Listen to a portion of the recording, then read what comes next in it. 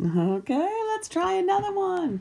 Here's another one that I'm just uh, pulling out here. So let's call it example math is fun because you know it is.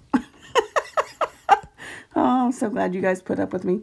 Okay, so example math is fun.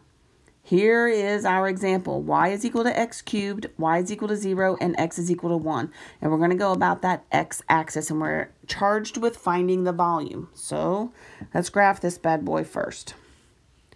I know that y equals 0 and x equals 1. So I'm going to chuck out here and make this a 1.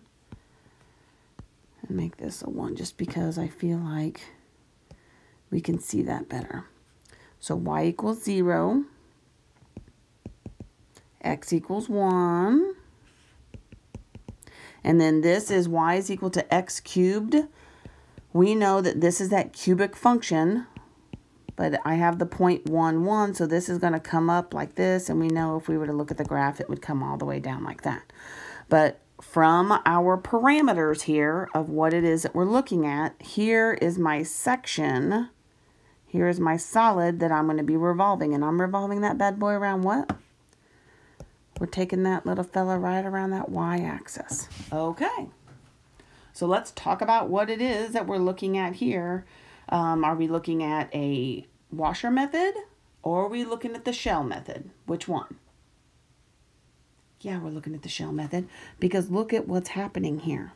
I already have this right. Mm, let's write this function here. y is equal to x cubed. I'm going around the y-axis. I already have this in terms of x, right? And if I'm taking this function, it's going right to my axis. I'm sitting right here. I'm sitting on this x-axis. It's just easier. Could I put this in terms of y around the y-axis and make the washer method? Yeah, on this particular problem I could because I would have 1 minus my function, but then I'd be dealing with a cube root.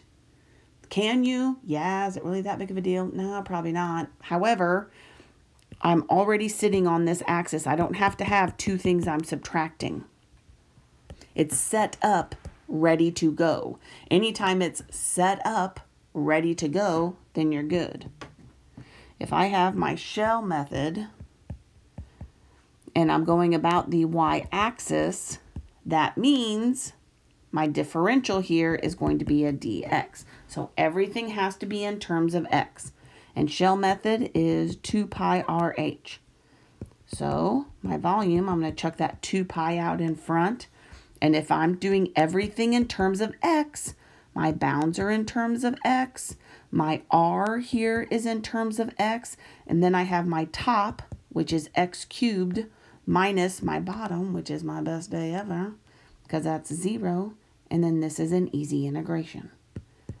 So I've got 2 pi, and I'm going to go from 0 to 1 here of x to the fourth. Because when you multiply like bases, you add those exponents. So I've got 2 pi, and I've got that 1 fifth x to the fifth from 0 to 1.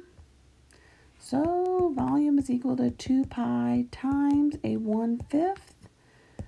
So my volume is 2 pi over 5. Right? Not bad at all.